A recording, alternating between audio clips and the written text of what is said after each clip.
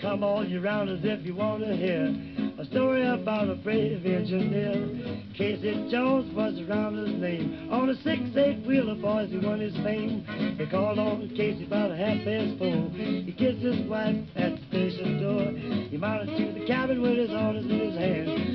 A trip to promised land. Casey Jones mounted to the cabin. Casey Jones, orders in his hand. Casey Jones mounted to the cabin. Took a little trip to promised land.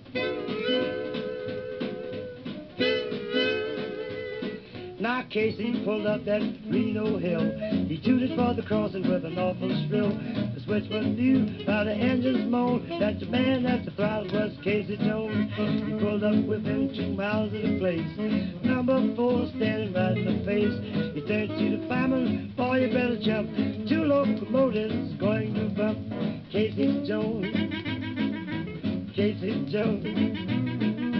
Casey Jones. Two locomotives going to bump.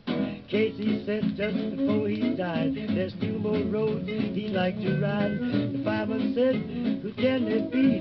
To Atchison, Topeka, and the Santa Fe. Miss Jones sat on a bed, really sighing. Just received a message, Casey was dying. Go to bed, children, hush your crying. You got another papa on the Salt Lake line. Oh, Miss Jones, got another papa, oh, Miss Jones.